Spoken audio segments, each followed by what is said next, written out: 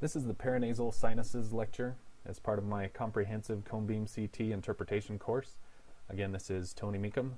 So everything you ever wanted to know about the paranasal sinuses. All right, now let's get into the ethmoid sinuses, which are also called the ethmoid air cells. So here we can see them, superior to the nasal cavity, uh, in between the orbits, and extending back all the way to the sphenoid sinus, which is this here. So if we look from a sagittal view here, you can see this is definitely an anterior ethmoid air cell. So if we want to look at where that drains, let's scroll through here. And you see that? We're kind of emptied right here into, we know the anterior air cells empty into the hiatus semilunaris. And again, don't worry if you don't know that name. But that's definitely clear. You see that air cell draining. And another interesting thing, if you keep scrolling through, it communicates with the drainage pathway of the frontal sinus.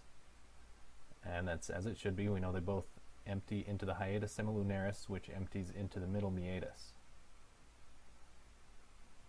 And so that makes this right here the uncinate process. And to confirm that, you can look, put a crosshairs on it, look in the coronal plane.